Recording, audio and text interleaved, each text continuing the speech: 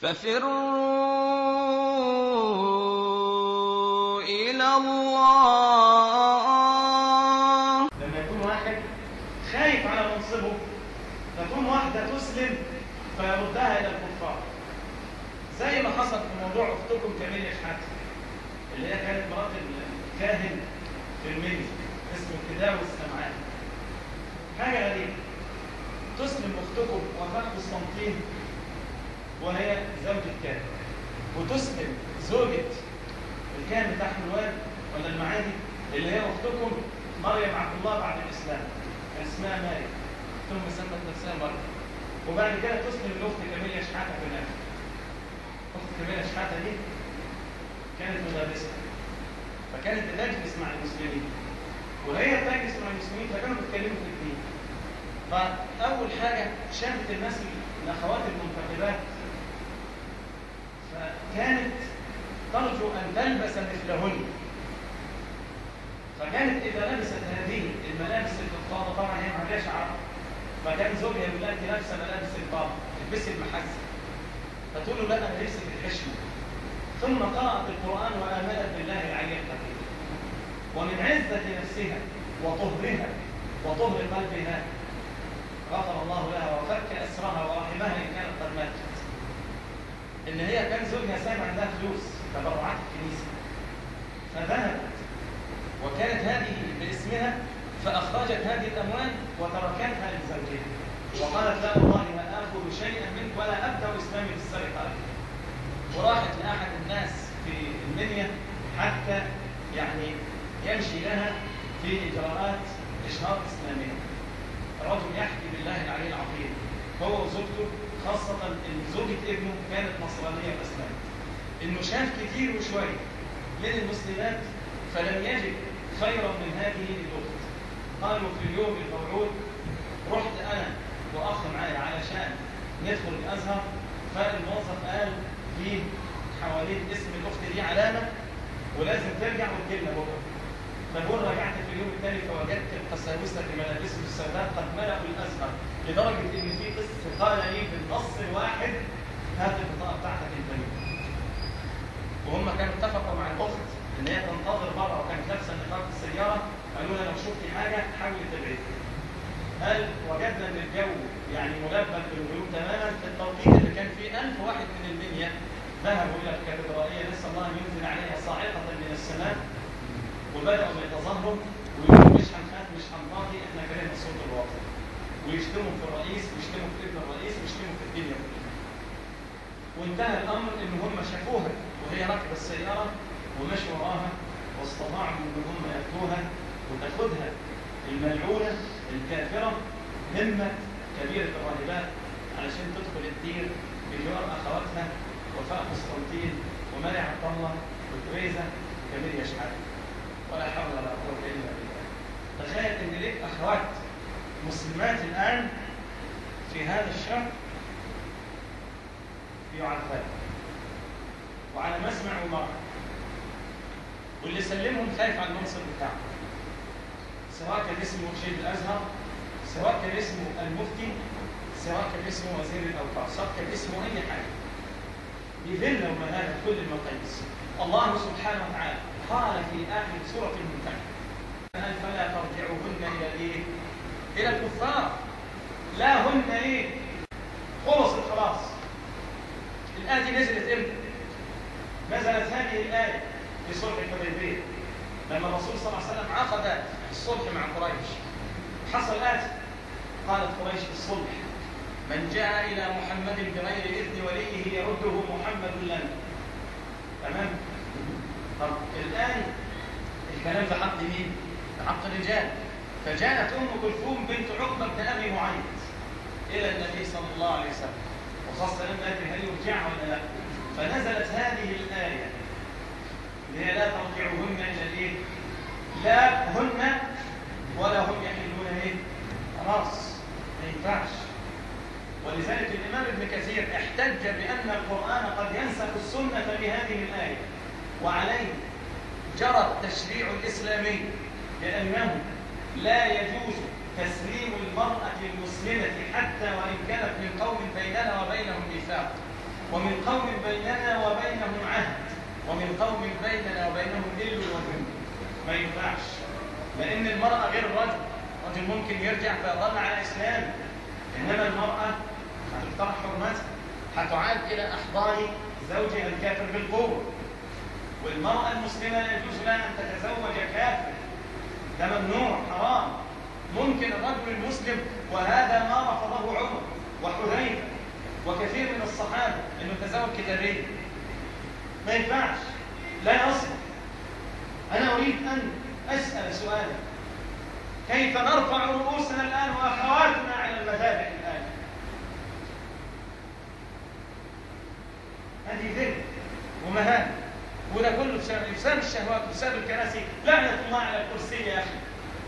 وعلى أي وظيفة تجعل الرجل يسلم دينه إلى كافر ولعن الله السياسة التي لا تقوم على الدين. يسب النبي صلى الله عليه وسلم في بلد تعداد المسلمين فيه 65 مليون وشوية. وحكامها مسلمون. ولا ترتفع إصبع. للمؤسسة الدينية تخط كلمة ترد بها عن عرض النبي صلى الله عليه وسلم. ويسب رب العالمين عن طريق يوسف سد عضو المجلس الملي القبطي ويقول القرآن ظلم المرأة في الميراث وينشره في جريدة وطن وبعد كده في جريدة المصري اليوم الكلام ده ما بيوديش في على فكرة لأن الكلام ده منشور في الصحف. ولا يتحرك في وزارة الأوقاف ولا في الأزهر ولا في دار الإفتاء ويقول اتقوا الله. أبدا. وكأننا في بلد كفر. وكأننا في بلد شرك. وكأننا في بلد لا يعرف الله عز وجل. وكل ده بأي سبب؟ سبب المناصب والكراسي وتداول السلطة. ولا حول ولا قوة إلا بالله وحسبنا الله ونعم الوكيل. ولذلك أنا قلت لك نحن نشعر بالمهانة وأي مهانة أن يكون واحد لا يستبرئ من بولته وعمال يشكك في دينه ويأخذ أخواته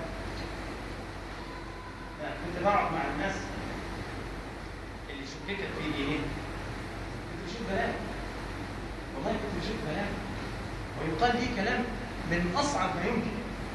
كلام لا يتحمله قلب المسلم.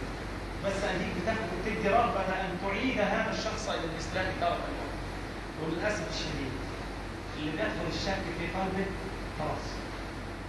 فهذه رسالة علنا أن نصل إلى أولي الأمر في هذا البلد. اتقوا الله في المسلمات. لأن هذا الكرسي لو دام لغيرك لم يصل إليه. وأين من جلسوا على هذا الكرسي قبل؟ يا أخي ربنا سبحانه وتعالى قال واتقوا يوما ترجعون فيه إلى الله. ثم توفى كل نفس ما كسبت. وهم لا يظلمون. أنا مش عارف. الشيخ اللي بيسمع إن النبي عليه الصلاة والسلام اتسب ويتقال كده الليالي الحمراء لمحمد صلى الله عليه وسلم.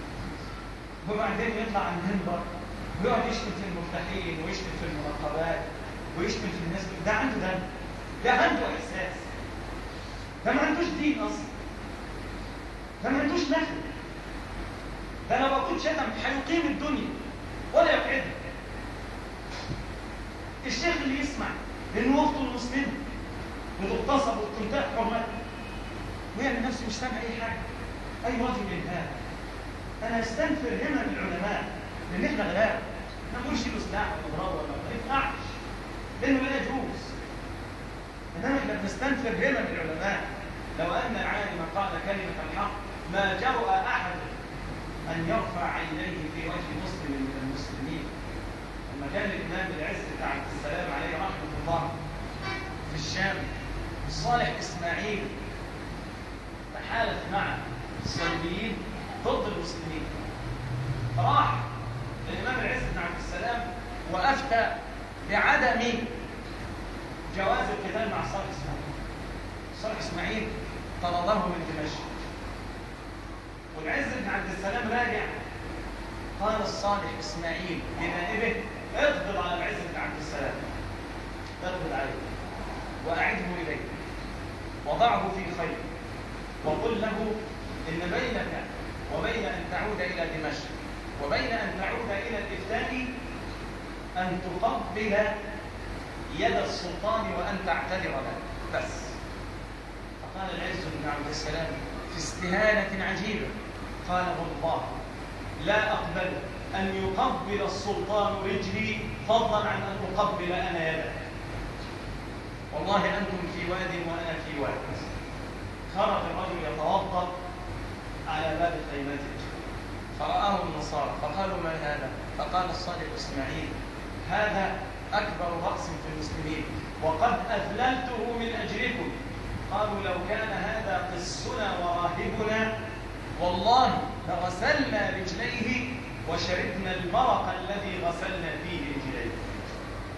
شوف العالم لما يكون عنده عزة وعنده كرامة الشيخ جاد الحق الله يرحمه.